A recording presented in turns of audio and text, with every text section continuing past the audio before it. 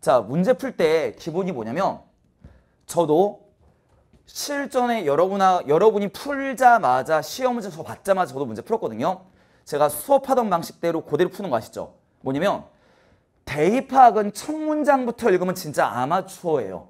문제 풀 줄 모르는 거야. 무조건 뭐라냐면 대문자 다음에 주어 동사만 보세요.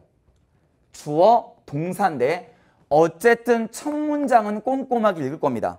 그 다음 맨 마지막 결론도 일단 꼼꼼하게 읽을 거예요. 그 다음에 이제부터 여기서부터예요. 헉?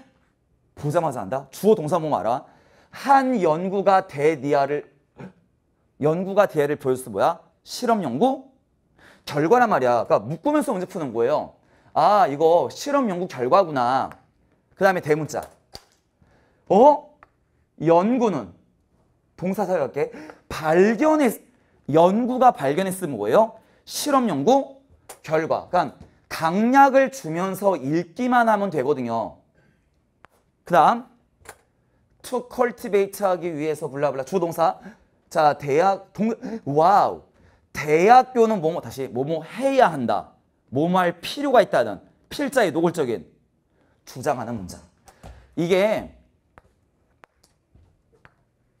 첫 문장부터 읽는 게 중요한 게 아니라 이거 10초도 안 걸리거든요 정말로 왜냐면 영어 문장은 평균 7, 8문장밖에 안 되기 때문에 나 소재 알고 결론 알고 연구 결과 두 개에다가 이제 주제문까지 알고 있어요. 그럼 이제 뭐예요?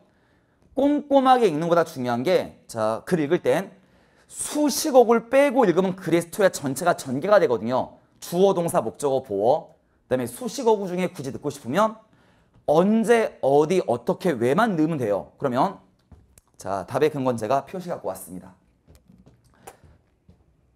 이거 과거 분사로 시작하는 분사 구문인데, 자, 적절한 조건이 부여가 되면 부여가 된다. 근데 이거 수식어구니까 중요한 말이 아니에요. 그러니까 요거 있으면 못했다고 문제 못 푸는 거 아닙니다. 분사구문이고 못 봤다고 해서 자 주어 기업가 정신은 자 동사 핵심 해석적으로는 요 놈이죠. 기업가 정신이라는 게 짜여질 수, 엮여질 수 있습니다. 만들어질 수 있습니다. 그러니까 위부가 엮다, 만들다 이 뜻이거든. 자, 어디로? 이거 EBS 교재, 올해 교재도 있죠. 패브릭이 섬유가 1번이고 2번 뜻이 구조입니다. 캠퍼스 삶의 구조에 기업가 정신이라는 게 엮여질 수 있습니다. 해석하지 말라는 건 아닌데 크게 뭐뭐한 채 뭐뭐하면서 수식어구는 중요한 문장이 아니에요. 이게 뼈대란 말이야. 소재는 기업가 정신, 대학 생활에서 엮여질 수 있지 않겠냐. 자 이제 연구 결과예요. 똑같아요. 수식어구를 빼면 전체 구조가 보이거든요. 한 연구가 보여졌습니다. 대디아를. 자, 뭘 보여주고 있느냐. 수식어 뺄게. 직장 내에서. 중요한 말이 아니에요. 주어갑니다. 동료들이 영향을 미친다고. 그러니까 직장 내에서 동료들이 서로 서로에게 영향을 미침을 연구는 보여주고 있지 않습니까? 동료가 영향을 미쳐요. 자, 스팟이 찾다 발견하다.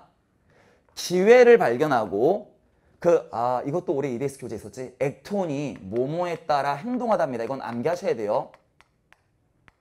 기회를 발견하고 기회에 따라 행동하는 거에 동료들이 영향을 미칩니다. 다시. 대학교 삶에 기업가 정신을 넣을 수 있대. 동료들이 직장에서 서로 서로 기회를 발견하게 도움을 준대. 읽지 말라는 건 아닌데 뒤에 있는 건 수식어구란 말이야. 중요한 문장이 아니었다는 얘기예요.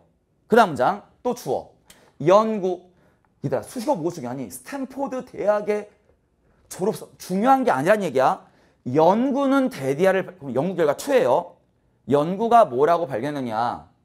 사람들 후에 가로 열고 어느 사람들 가지고 있어요. 다양한 어떤 일과 교육적 배경이 있는 사람들이 그러니까 다양한 걸 갖고 있는 사람들이 자, be likely to인데 해석적인 동사는 이게 핵심이지. 다양한 일과 교육적 배경이 있는 사람들이요. 그들 자신의 사업을 시작한다는 걸 발견했습니다. 읽지 말라는 건 아니에요. 된 이하는 수식어고. 하나에만 집중한 사람들보다. 중요한 게 아니었다는 얘기야. 자, 지금 이게 다예요. 소재는요. 기업가 정신 대학교 삶에 넣을 수 있대요. 첫 번째 연구 결과 동료들이 기회를 찾는데 영향을 미친대요. 서로 서로. 두 번째 연구 결과 다양한 일과 교육 배경이 있으면 자기 일을 시작할 수가 있대요. 이제 주제문입니다. 갑시다. To cultivate 뭐뭐 하기 위해서예요. 자, 기업가적 문화를 형성하기 위해선 주제문 대학교 아, 같은 우리말 한 번만 해석할게. 대학은 뭐 할 필요가 있어? 제공해야 됩니다. 이거 간접 목적어. 이거 직접 목적어예요. 학생들한테 넓은 기회를 줘. 아까 넓은 경험 같은 게 있어야지 자기를 시작한다며. 그러면 학교가 대학 학생들한테 넓은 경험을 줘야 된대요. 그다음에 또 넓은 노출을 다양한 개념에. 이거 뒤에 결론 알고 될 것 같아. 노골적 주제문이 있으니까 이건 오답 지우진 않겠습니다. 답이 그래서 2번이죠. 대학은 학생들이 기업가 정신을 함양하도록 환경을 조성 여러 가지를 제공해야 된다. 그러니까 이건 워밍업 문제였어요.